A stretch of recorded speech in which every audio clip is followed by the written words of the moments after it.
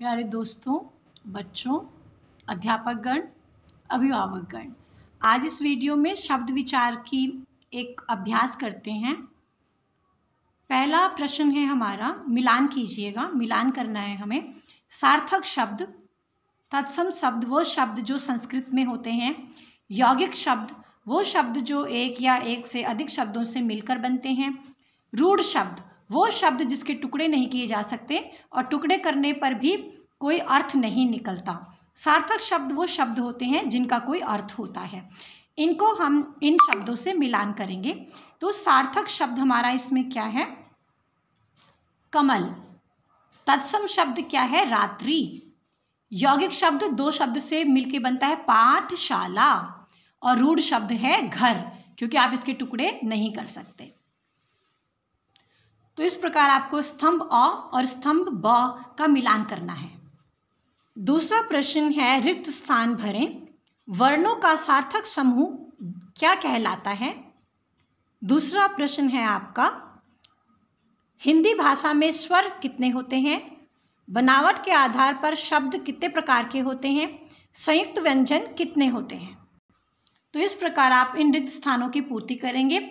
वर्णों का जो सार्थक समूह होता है, बच्चों, उसे हम शब्द कहते हैं।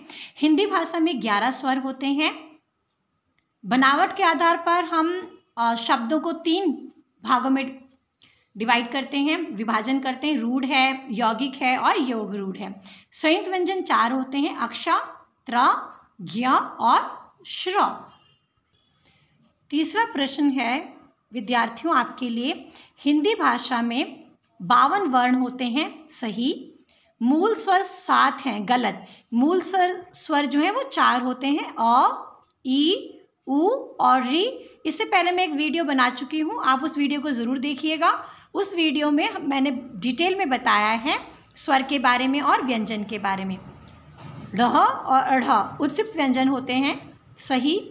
दीर्घ स्वर सात होते हैं, ये भी सही है, और दीर्घ स्वर में होता है आ, ई, उ, बड़ी ई है ये, आ, ई, उ, ए, आई, ओ आओ सो दीर्घ स्वर में री नहीं होता है, आ, ई, उ, ए, आई, ओ, और आओ ये शब्द दिए गए हैं आपको दो, आपको वाक्य बनाना है, भाषा और भवन के ऊपर। आप लिख सकते हैं, हिंदी हमारी मातृभाषा है, राष्ट्रीय भाषा है, मेरा भवन बहुत सुंदर है, मुझे एक भवन का निर्माण करना है, और दूसरा प्रश्न है आपको, चित्र देखकर वाक्य बनाएँ।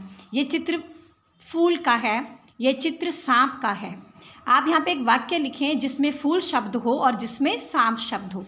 आप कह सकते हैं, यह फूल बहुत छोटा है मुझे फूल पसंद है। फूल रंग बिरंगे होते हैं। सांप रेंग कर चलता है। सांप जहरीला होता है।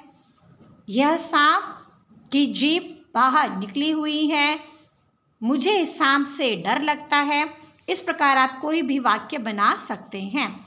सो बच्चों, दोस्तों, अध्यापकगण, अभिभावकगण, मुझे उम्मीद है कि ये छोटी सी अभ्यास आप लोगों के लिए फ़ायदेमंद होगा। और बच्चे आजकल घरों में इस प्रकार की अभ्यास से अपने व्याकरण को और भी अच्छा कर सकते हैं। व्याकरण की जानकारी दिन प्रतिदिन वो अपनी और भी अच्छी कर सकते हैं। Thank you.